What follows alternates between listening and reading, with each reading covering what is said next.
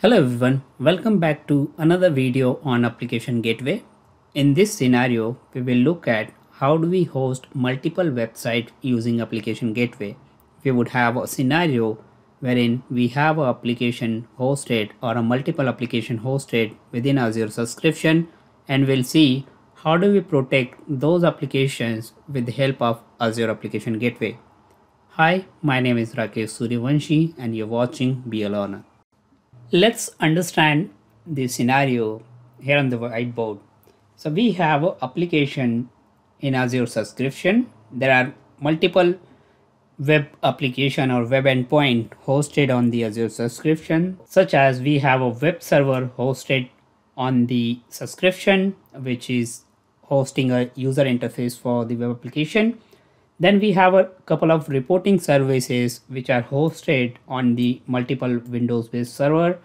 All these web server and the web application is connecting to the SQL Server database to fetch the data. We have a clear requirement that we need to meet the security guideline and one of the security requirement we have that none of the application exposed to the internet. Though these endpoints are not exposed over the public internet, but we do have a requirement to allow communication to these endpoints over the internet through one of the public IP address. And for that reason, we need to use a service which can allow a router traffic to this backend server. One of the other requirement we have that we would like to trace each and every request which is going to either of these servers and we want to make sure that we do not have any kind of vulnerabilities with these requests such as SQL server injection, cross-site scripting or any other kind of attacks basically. And that's the reason we have configured a dedicated subnet here for the application gateway and we are hosting the application gateway inside this dedicated subnet. So we, our application gateway would have a fr public front-end IP address and the user will route traffic from this public front-end IP address to the application gateway and application gateway will forward the traffic to these backend pools based on the configuration which we will be providing to the application gateway. Now let's understand the configuration of the application gateway with this diagram which we will have for this application. So we would have a set of user who will be accessing the web application. So let's say this is a web application user. This application user will be connecting to the web application or the front-end IP address which is the public IP address of the application gateway. So in this case, we would have a public IP address connected associated with the application gateway. Application gateway would have a listener for the web connect connection. So we would have a web listener and then the communication will go to the web listener. The listener will forward a traffic to the web rule. So we would have a rule called the web rule so that any traffic which is coming to this web listener will forward the traffic to the web rule. And web rule would use the HTTP settings, which is the web HTTP setting, which we are calling a web WH. This HTTP settings will be used to connect to the backend server, which in this case a web application. So this is what the flow we need to design. So in this case, the front-end IP which it will use to connect, it will connect over port number 80 8080 for example or 8081 so the ip address colon 8081 then it will route the traffic to web application and now similarly we would have some reporting user. Let me use a different color pen for this demonstration. So here in this case we would have a user of the reporting type. So we will have a user reporting and then they are going to use the url which is a public ip address.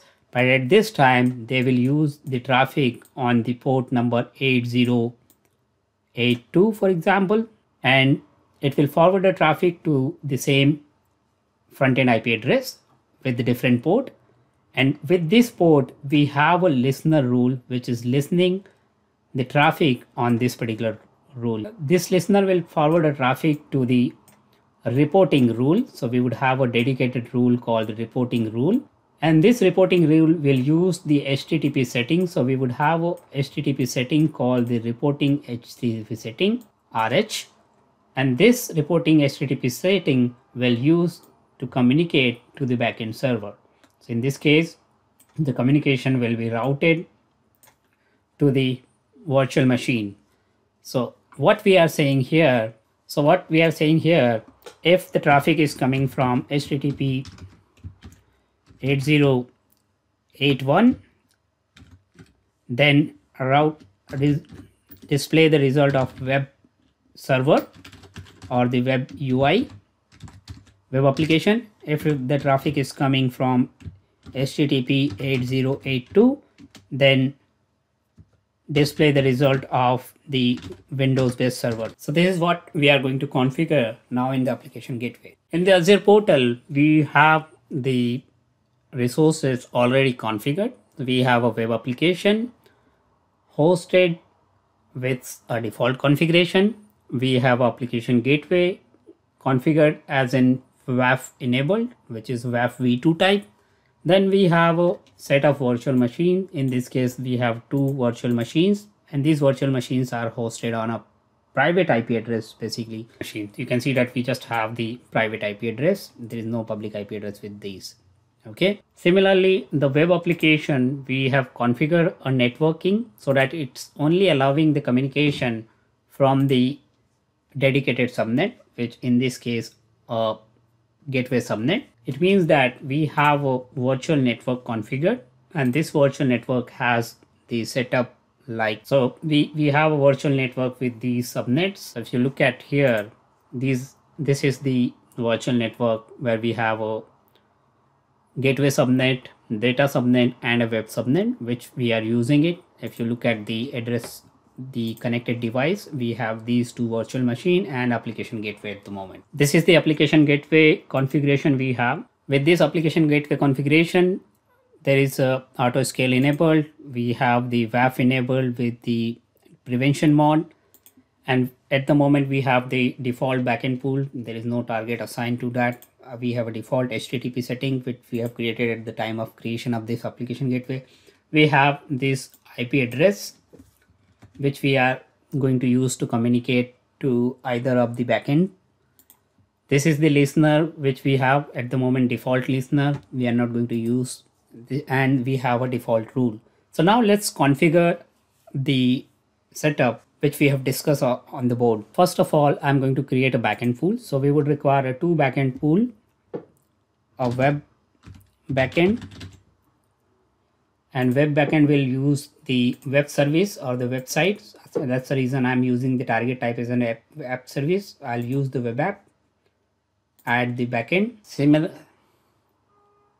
similarly, I will create another backend called the reporting backend. This time I'll target it to virtual machines. I'll select both the virtual machine so that it will share the load. So it will perform the load balancing on either of these virtual machines to display the reporting data. So our backend pools are ready now. The web has one target and reporting has two. Let's configure a listener now. So we would first configure the web listener. Web listener will receive the traffic from the public front-end IP address of the application gateway on the port number 8081, which we have mentioned on the protocol HTTP if we use the HTTPS, we need to upload the certificate, either a valid CA certificate or the self-signed certificate.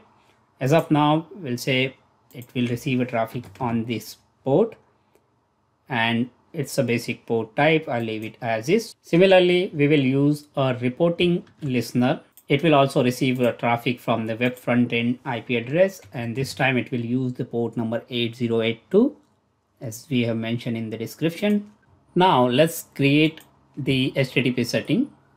So I'll create a HTTP setting for web HTTP setting.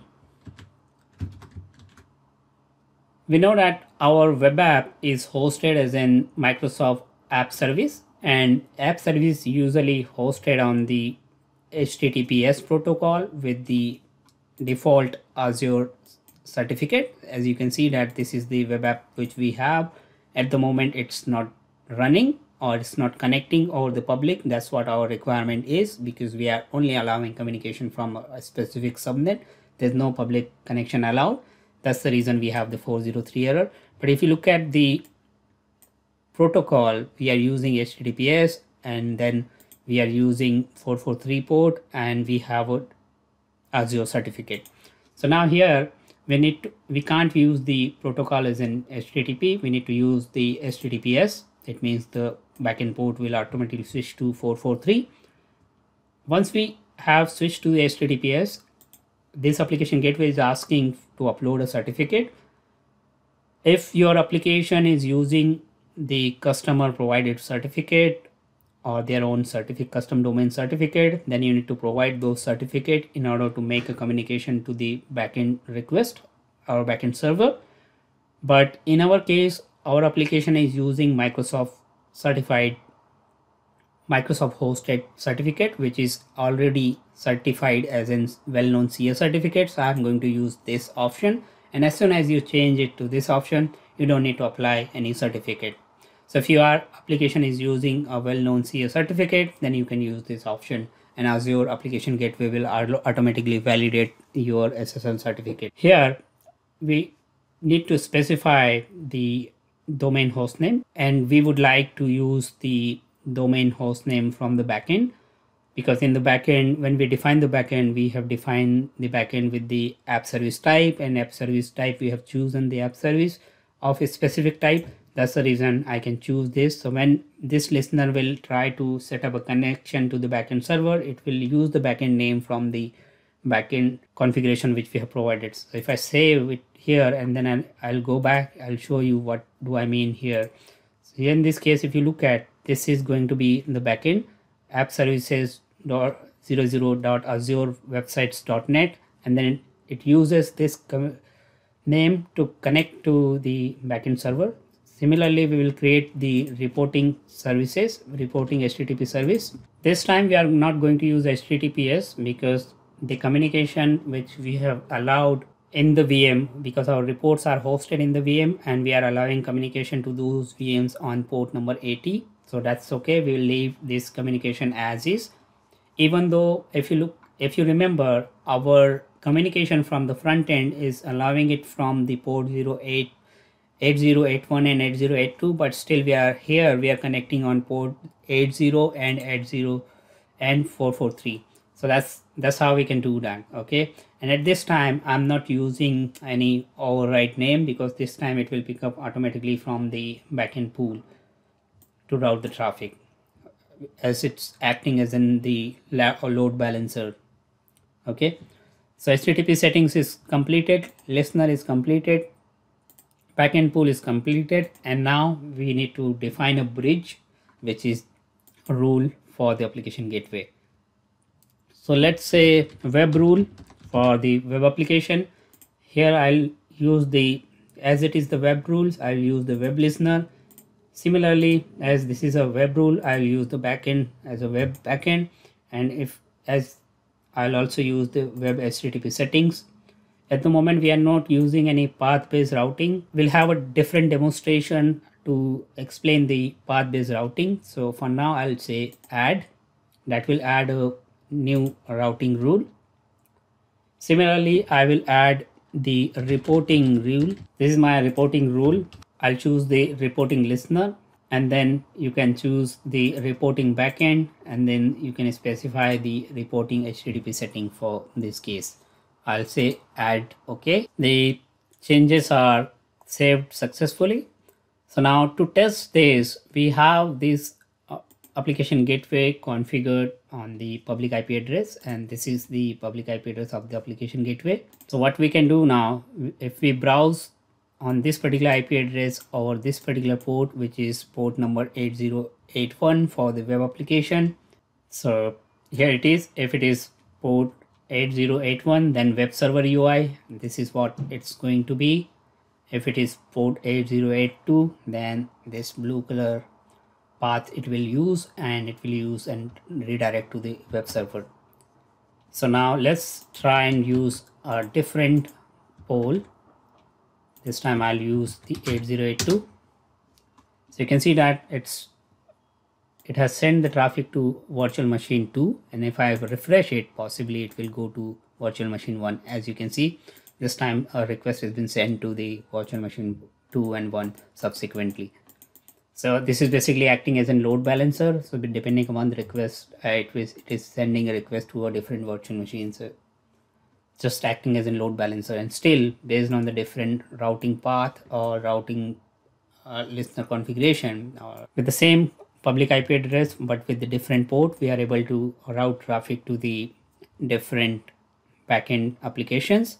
And this was our original objective. And still if you look at this web application i'm still not able to browse it. And this is what our objective was. Similarly anyways our windows machines are basically on the private ip address. So anyways i won't be able to access those machines from the browser because private ip address won't be able to access all the internet right this was the demonstration which explains that how do we configure the application gateway to serve different web applications or different backend services with the help of same application gateway configuration. I hope you have found this useful. If it is, please give it a thumbs up and don't forget to subscribe to the channel if you haven't already. Thanks for watching it. See you in the next video.